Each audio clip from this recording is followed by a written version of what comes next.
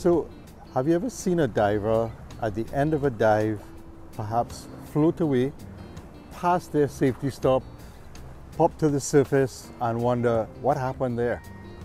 Well, this video is a discussion about scuba diver weights and proper weighting, as well as a little indication of what I use in terms of weights and balance and so forth. Now, please note, this video is not intended for training purposes. You should take a recognized scuba training course with a certified dive instructor before scuba diving or freediving. Now, your dive instructor will run through your proper weighting with you in the pool. So firstly, a scuba diver wants to be in full control of their buoyancy at all times. I've heard so many divers complain that they were so negatively buoyant that they were dropping like rocks to the bottom of the ocean, not being able to stay afloat or control their position in the water. Now, even when they're at the surface with the BC fully inflated, they said they were going down under the water. That's totally wrong. Similarly, I've also heard of divers who could barely get down and sometimes found themselves floating away at different points of the dive depending on their buoyancy. Now, you can go down as quickly as you can equalize. But as you know, you don't want to go up faster than what's considered the safe rate of ascent.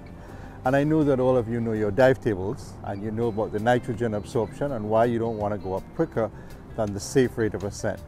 So our fastest prescribed safe rate of ascent would ideally be one foot per second or 60 feet per minute. And some of the new dive computers suggest or indicate that we should slow down our rate of ascent.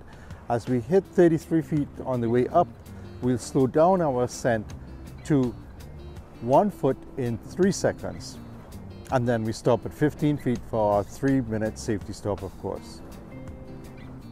So, in theory anyway, if you weight yourself for neutral buoyancy at the start of your dive and you're using an aluminum alloy tank, chances are you will be going up quickly and unable to stop at your safety stop on your way to the surface at the end of your dive.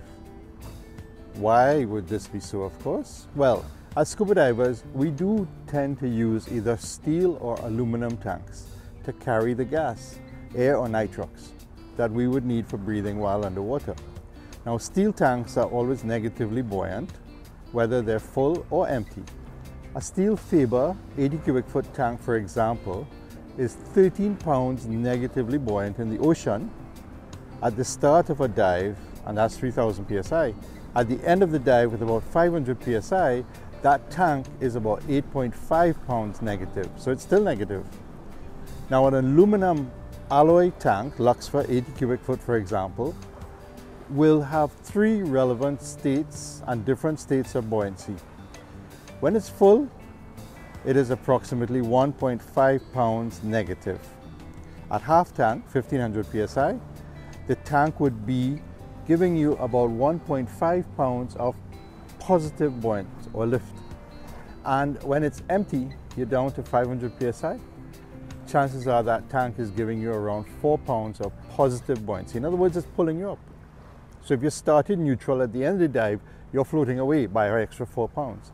So if we use an extra two or three pounds at the start of our dive and the BCD to compensate for that extra weight at the start, then when we're down to approximately maybe 600 psi, we come to 15 to 20 feet, we hang there, we're at neutral buoyancy. That would be perfect because we're not floating away, we're able to control our position in the water. We're neither floating nor sinking, we're neutrally buoyant. That's what we're striving for. So, as an example for me personally, I tend to use six pounds with an aluminum alloy tank to be neutral. And I wear around 10 pounds to compensate for the positive buoyancy of the aluminum alloy tank at the end of my dive. If I use steel tanks, I still tend to use a little bit of weight just to keep me balanced and adjust my trim or my position in the water. So I want my attitude to be such that my head is straight, my body straight, and as I kick, I'm moving in one straight line. Now, when I dive with students, I do carry a little bit of extra weight to be able to help them if they need help. Your instructor can discuss this further with you or you can send me questions or comments down below in the questions and comments section. So I've yapped a lot. giving you this preamble and let's turn to what you probably came to this video for. We're going to look at the weights and how I adjust it and how I set it up with my BCD if I'm using the integrated weight system. So let's look at the gear. So here in front of you, what I've got is a couple weights. I've got the belts and I've got a pocket that would allow us to integrate the weights into the BCD. So let's take a quick look. So this one here is indicated as two pounds. I've got this one here covered in a, a, a vinyl coating and this is a three pound weight. I've also got four, five, you can see it's pretty heavy. This one is lead shot in a mesh pouch. So it drains and so forth and this is good to use in these pockets of course because you can't put that on a belt. Now in odd occasions of course we have a rock and that's a scuba diving rock that we might stick in a diver's pocket. It's not hard reef or part of the reef system. This is dead rock and that's why I might use it in a pinch but not perfect or ideal. So your weights can be worn as you choose to wear them, but ideally you want equal amount on either side to balance you. So for example, if I were using my nylon webbing belt and I use the metal buckle because it gives you a more secure grip on your belt so it doesn't come undone and to lock it it's a fairly firm lock so that's ideal so it's not going to slip off but I'm going to balance the weights and I use it by putting it to lay down here of course I would be here and I would put the weights on so that they are balanced and approximately at equal distance on my hips and then of course I would be in the middle and I buckle it up here. Now, so most people now choose the option of the integrated weights into their BCD unit and we have on the BCD unit four spots that we can put our weights. One is in each pocket here to the front and then you've got at the back for the trim or the, the minor adjustments I can put into the back slot here where the tank would normally be, I can put a maximum of one to two pounds in each of the pockets and lock it in. Remember, this does not have a quick release, so it cannot be dumped in cases of emergency. So that's why we use only one or two pounds here. Now to the front of this BCD, and this is where we'd carry the bulk of our weights, you would just simply open the Velcro attached to this pocket, slips your weights in no matter what you need, close it, just Velcro it in place.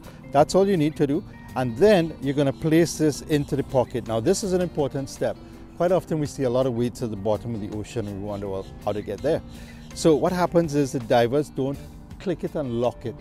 And as they don't do that, when they hit the water with the roll, usually the weights just fall out and head straight down to the bottom and the diver's left on the surface wondering what happened.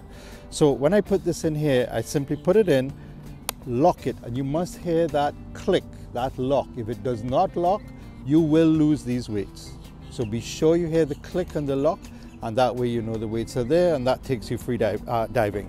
And this is the other side, so similar pocket goes here, the weights go in and there you go, you're all sorted out. To release it, it's simply, it's also a quick release.